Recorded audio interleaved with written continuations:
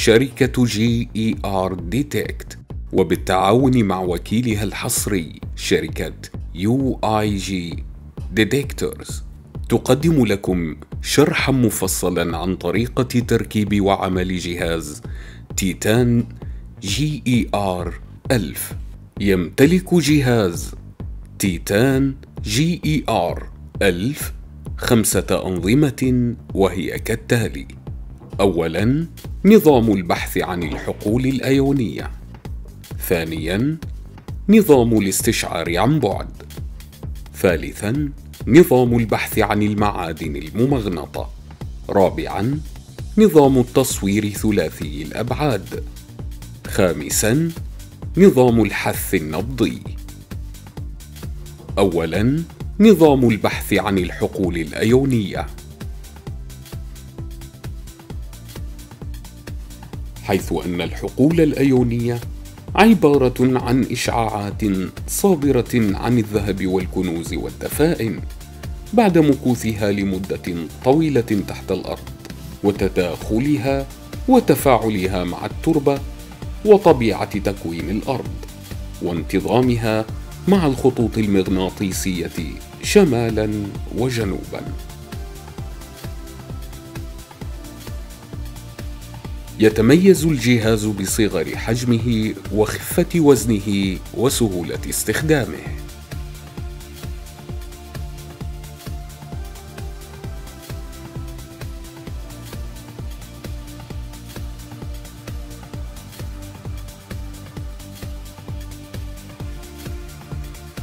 افتح مقبض الجهاز.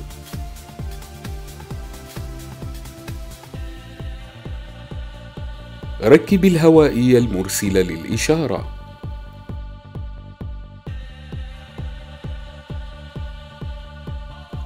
قم بتركيب المستشعر الخاص بالنظام.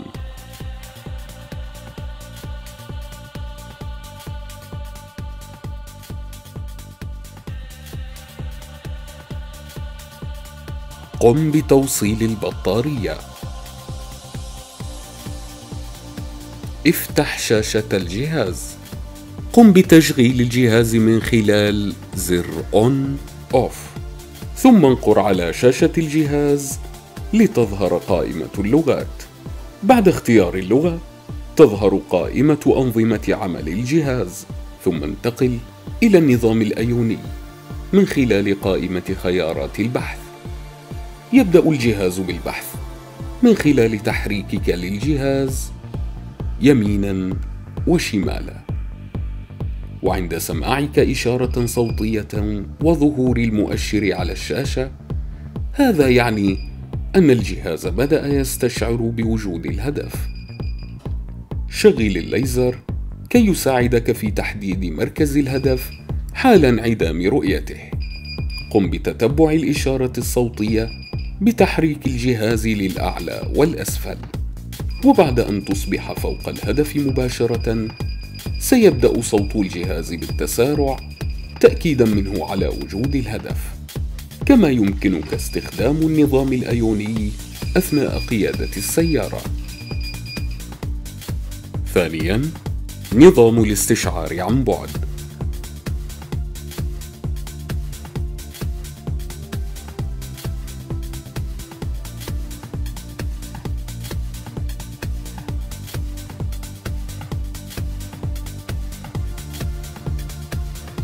قم بتثبيت الناقل.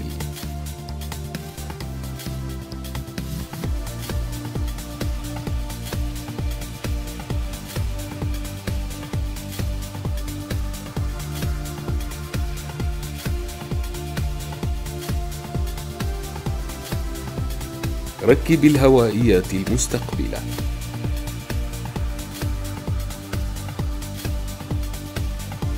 قم بزيادة طول الهوائيات لرفع المدى الحسي الأمامي للجهاز حتى 2500 متر. افتح شاشة الجهاز. قم بتشغيل الجهاز من خلال زر On Off. تظهر قائمة أنظمة عمل الجهاز. باختيارك للنظام الاستشعاري تظهر قائمة المعادن التي يقوم الجهاز بالكشف عنها. اختر المعدن الذي تريد البحث عنه. مثال ذهب دفين ثم قم باختيار المدى الأمامي المراد الوصول إليه. مثال 2500 متر. حينها يبدأ الجهاز بالبحث. وعند استشعار الجهاز للذهب ستقوم الهوائيات بالالتفاف نحو موقعه. وسيظهر اتجاه الهدف على شاشة الجهاز أيضا.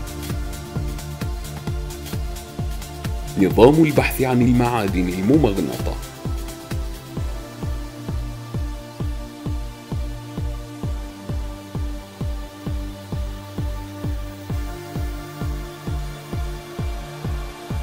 قم بتركيب المستشعر الخاص بالنظام.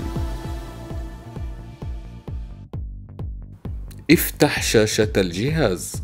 قم بتشغيل الجهاز من خلال زر On Off. قم باختيار نظام كشف المعادن الممغنطة من خلال قائمة خيارات البحث للتأكد من تواجد معادن ممغنطة ضمن الهدف المكتشف. كالحديد مثلا.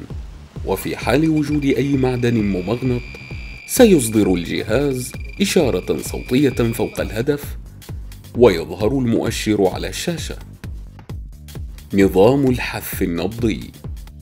يتم استخدام هذا النظام لتحديد الفراغات والتمييز بين المعادن المكتشفة الثمينة وغير الثمينة.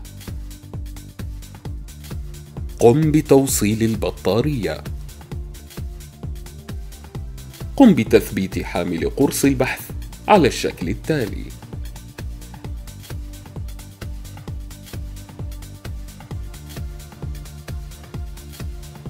افتح مقبض الجهاز. قم بتوصيل المستشعر الخاص بالنظام.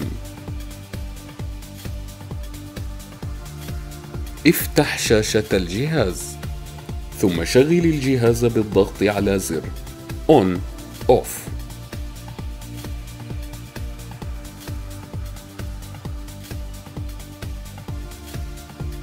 اختر لغة البحث. قم بمعايرة الجهاز. مع التربة من خلال زر. مينو يمكنك تعديل قوة استشعار الجهاز من خلال الضغط على مفاتيح التنقل. انتقل إلى نظام البحث العام لتأكيد وجود الهدف. وعند اكتشافك لأي هدف انتقل إلى نظام تمييز المعادن من خلال الضغط على زر ستارت لتحديد نوعية المعدن ثمين أو غير ثمين. انتقل لنظام كشف الفراغات لتحديد وجود أي فراغ مع حجمه وشكله. نظام التصوير ثلاثي الأبعاد. هذا النظام يتيح لك رؤية الهدف بأبعاده الثلاثة. قم بتثبيت قاعدة التابلت المرفق مع الجهاز.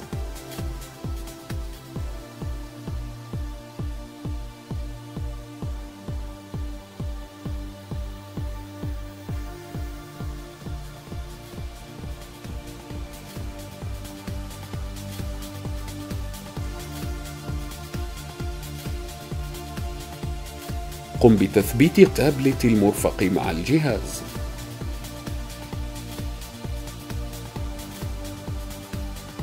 افتح شاشة الجهاز ثم شغل الجهاز بالضغط على زر On Off.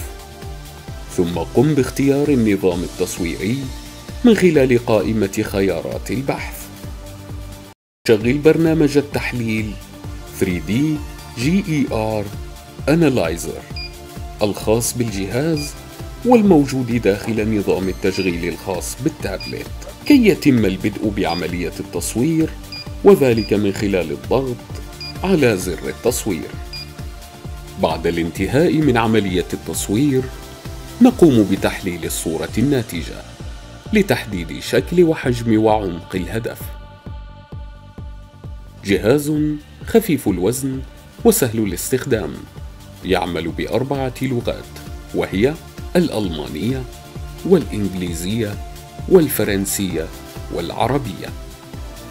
يصل الجهاز إلى عمق 45 متر في باطن الأرض ومدى أماميا بمقدار 2500 متر. جهاز TITAN GER 1000 من أجود الصناعات الألمانية. فقد تم تخصيص هذا الجهاز ليعمل في مختلف البلدان والأقاليم. مع تمنياتنا لكم بالتوفيق في رحلاتكم الاستكشافية.